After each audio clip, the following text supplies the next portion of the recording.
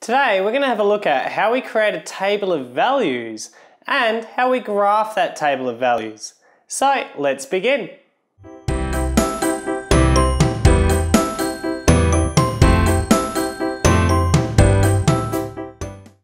Let's begin by having a look at this problem. Kelly's Cabs is a taxi company that charges a $4.50 flag fall. Now, a flag fall means that when they get into the cab, they immediately get charged $4.50 before they travel anywhere.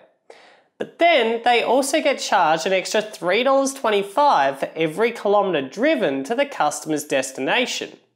Our first task is to complete the table below to show how much the total taxi fare would be after 0 kilometres, 1 kilometre, 2 kilometres, all the way through to 8 kilometres.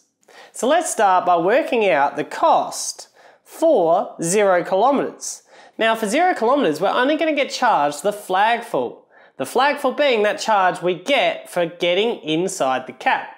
So we're going to pay the flag fall of $4.50 which we can immediately put in our table of values right here under the zero kilometers.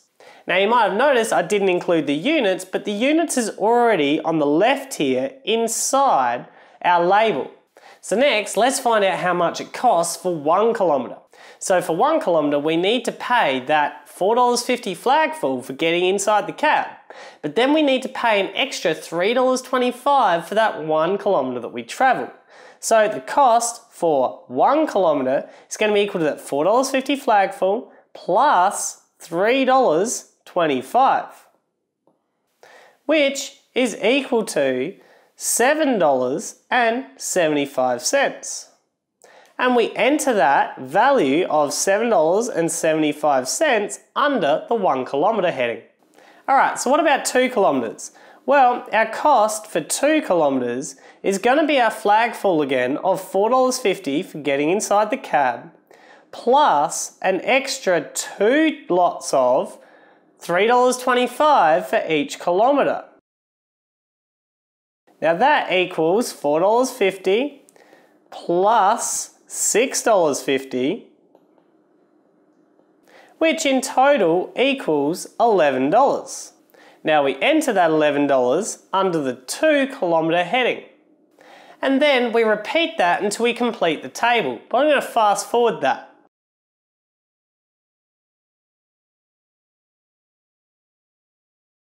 So as you can see, I've now gone ahead and completed my table of values. So let's get on to graphing.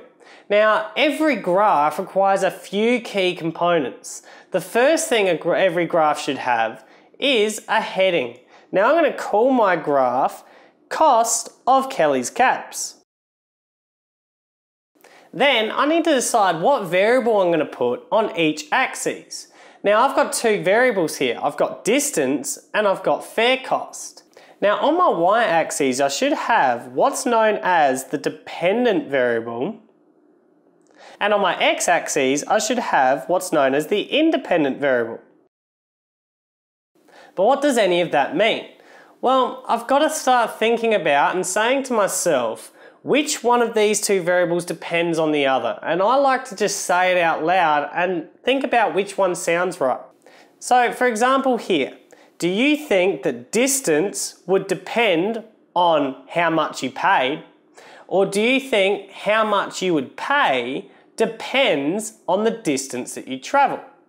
Now, when I just think about that, I think it makes more sense to say how much you pay is dependent on the distance. So that means how much you pay is dependent.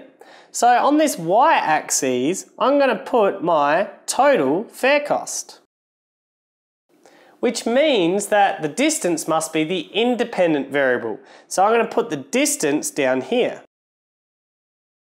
The next thing we need to decide is an appropriate scale starting from zero for our x-axis. Now what's really important with scales is it doesn't matter how much you necessarily go up by as long as you go up by the same amount each time. Now here, I think it's appropriate to go up by one kilometre for each square. Finally, I need to have a look at my scale for the y-axis. Following the same steps, I need to look at what is going to be most appropriate, starting from zero, but going up by the same amount each time. When I look at my table of values, I notice that I must get up to $30.50. So what I'm going to do is I'm going to go up by $5 increments with each step. And now we've done all that, we're ready to start plotting the points.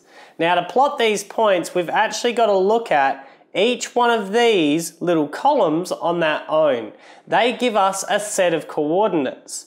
The distance coordinates being our x coordinate and the total fare cost being our y coordinate. So when we're going to plot this, our first plot is going to be at zero kilometers on our distance or our x-axis. And then we go and find where $4.50 would be on our y-axis and we put a little dot. We then repeat that for the next set of coordinates, that one kilometer coordinates. And we find where one kilometer would be on our x-axis and we find where $7.75 would be represented on our y-axis and we put another dot. We keep going for this until we've completed all of the coordinates of our table of values, but I'm going to skip ahead.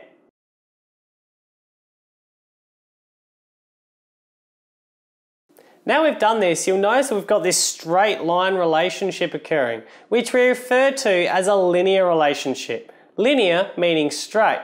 But what we can now do is put what's known as a line of best fit. A line of best fit is just a straight line here that's not playing connect the dots. It's just one straight line that best fits the data that we have. So you get your ruler and you connect a line through here, like I'm doing now, that best describes the set of coordinates you have. Now, of course, you can go further than 8 kilometers. So I need to indicate that with a little arrow at the end of my line of best fit. And now what we've done, we've successfully completed a graph for our table of values. So now it's your turn. What I want you to do is answer this. Belly is considering a rival taxi company called Red Taxis, who has a flag fall of $3.50 and a charge of $3.50 for every kilometre driven to the destination. What I want you to do is this. Complete the table of values below to show how much the total taxi would be after 0 kilometres, 1 kilometre, 2 kilometres, all the way through to 8 kilometres. Once you've done that, I want you to complete a graph of this on the same graph as the Kelly's cabs graph. And then consider this. If Belly's destination is three and a half kilometres away, which company would Belly be better off using? Kelly's Cabs or Red's Taxis? And I want you to explain how the graph that you've produced supports your answer.